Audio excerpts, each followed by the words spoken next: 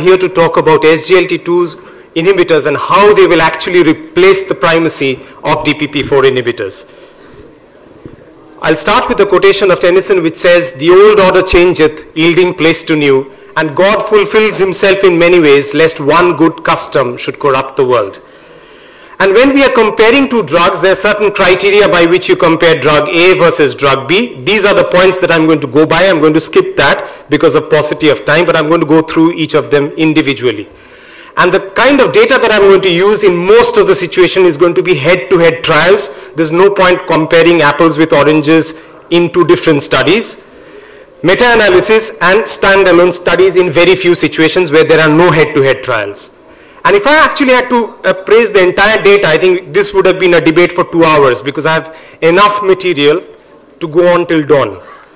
So let's start with monotherapy of the flozins. If you compare monotherapy of type 2 diabetes, flozin versus the gliptins, this first trial of empagliflozin categorically shows that as far as HbA1c is concerned, blood glucose lowering is concerned, as far as weight is concerned, and as far as blood pressure lowering is concerned, empagliflozin wins hands up. Similarly, you have a study of canagliflozin comparing with sitagliptin showing similar results.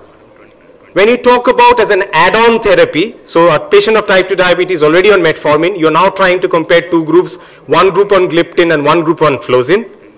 You have this CANA study which is already three years old, which shows that canagliflozin 300 milligram does better than sitagliptin and in terms of glycemic control. And if you look at weight reduction, sitagliptin is nowhere near canagliflozin in terms of weight reduction. Similarly, this is a trial of empagliflozin as an add-on therapy compared with sitagliptin, which shows EMPA does better than uh, sita in terms of blood glucose lowering as an add-on to metformin therapy.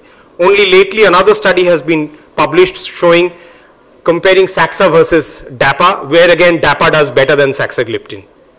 Now what about a situation where a patient is already on metformin and sulfonylurea, you're now trying to add a third agent, how does a gliptin and a flozin compare?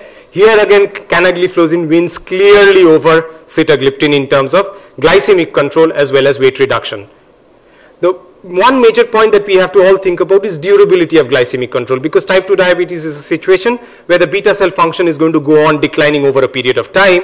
And one of the major things that is important about the SGLT2 inhibitors is that the action is independent of the level of insulin secretion capability of the body. So that is going to be one major reason why if you look at long-term studies, say this is Cana versus Sita, you see the graphs widening as time goes. The Sita starts failing and the canagliflozin still keeps on doing its job. This is again from that same study looking at the fasting sugar and the postprandial glucose levels. And this is a one and a half year old study comparing empagliflozin with sitagliptin, where here as you can see, look at the weight difference, look at the blood glucose difference. Sitagliptin is nowhere near the effect of, of empagliflozin. The other thing that you have to think of is lipids. Now, most of the studies show that the HDL levels are raised by all of the SGLT2 inhibitors. The results with LDL is variable. What is important is that the LDL is to HDL ratio remains unaltered. That is what is important in terms of cardiovascular risk. This is a summary slide of what happens to all the lipid parameters with all the gliflozins. Now, SGLT2 inhibitors does all that a DPP4 does and does even more. This particular trial, if you look at, it increases GLP-1 levels. So you're using a DPP4 inhibitor, the SGLT2 is going to do that for you anyway. And let us look at a situation where flozins work even when the gliptins have failed. If you look at this particular trial, individuals who did not respond to linagliptin, if you added something like empagliflozin 25 milligram, it still worked. Whereas if somebody was already on a, a flozin, if you add an additional gliptin, the addition is only additive and nothing more than that. So in situations where the gliptin is going to fail, the linagliptin is not working, you've added empagliflozin, the drug is still working. What about glycemic variability? Sorry. This was something which was being discussed in the previous session. Where better do you test glycemic variability than type 1 diabetes? This is where person has highest glycemic variability. And this study categorically shows that dapagliflozin reduces glycemic variability even after adjustment of reduction of insulin dosage. So this categorically shows that it's a great drug in terms of reduction of glycemic variability. So the summary of this part of the story as of now, in terms of all the parameters of glycemic control, flozins far superior than gliptins. What about weight? The weight loss is to the tune of two and a half to three kilograms. So I can think of it as an anti-obesity drug, not just an anti-diabetic medication. It is as good as orlistat XENDOS. It is as good as all of the GLP-1 analogs in the diabetes trials.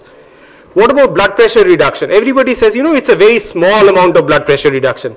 It's the same as what you found with ramipril in HOPE. It is the same as perindopril indapamide in advanced trial. So this drug is good enough on its own to be an antihypertensive drug in type 2 diabetic patients. So why not call it a polypill? You have one pill which has anti-diabetic, anti-weight loss, it causes weight loss and also blood pressure lowering. Used in different situations. Well, this is one thing which was being discussed in the previous talk, you know, that if the EGFR goes down too low, you'll not be able to use this drug because it's not going to work. What proportion of patients will not respond? That red dot there is the only proportion of patients where you cannot use the drug. This is the total number of renal function parameter of all patients, diabetics or non-diabetic. So just for that one proportion where it might not work, there's no point saying that the drug is not good enough. And if you're using it even in the worst of situations of renal function, it doesn't alter renal function. And there are now trials even in the range of 30 to 60. So I'm hopeful with the trials that are going on, EMPA will have a license lowered from 45 to 30 in the near future. What about liver dysfunction? Mild and moderate liver dysfunction, you can use all of them. In severe, you can use a lower dose of dapagliflozin. What about use in elderly? Very few anti-diabetic medication have trials where you are using drug up to the age of 75 years and 85 years. That's safe for most of our elderly patients. What about quality of life?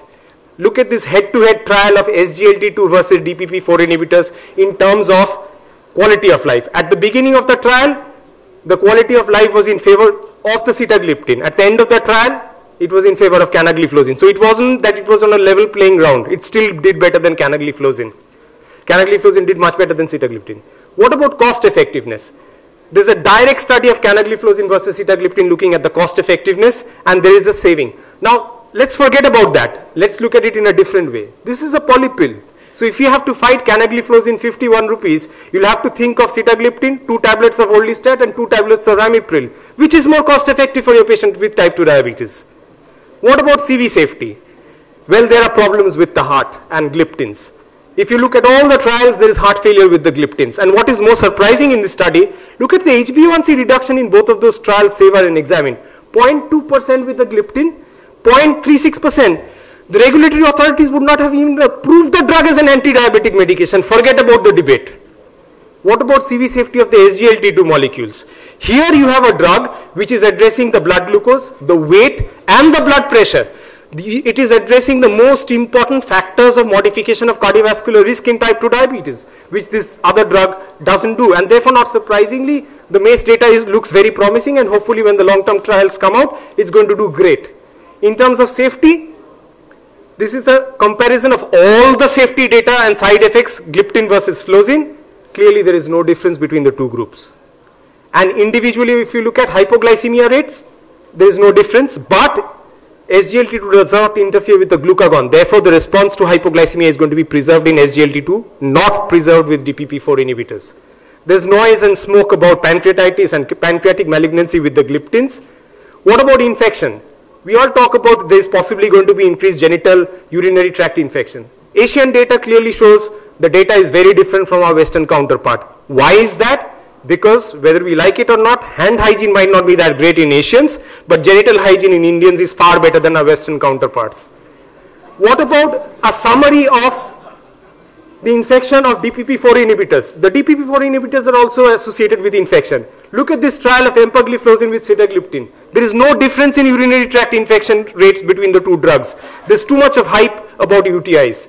Cancers, it was blamed for bladder cancer and breast cancer. We know it's essentially all most of the malignancies occurred within the first year of the drug trial itself. So the drug cannot be implicated for malignancies. So it's more of a hype.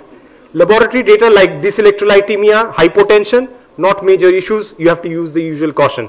Bone health, dapagliflozin doesn't increase fracture rate. Non-canvas data, canagliflozin does not increase fracture rate. DPP-4 inhibitors, there are studies to show that some of them increase fracture rate. Overall, no effect. It's therefore not surprising that this drug has in such a short span of time got the attention of the ADA-EASD guideline and taken the place of prominence that it deserves. So I've looked at all of those parameters that I've shown, the ones in red, the, DP, the SGLT2 is a clear winner over the other competitor and the ones in black are the ones where it is neutral.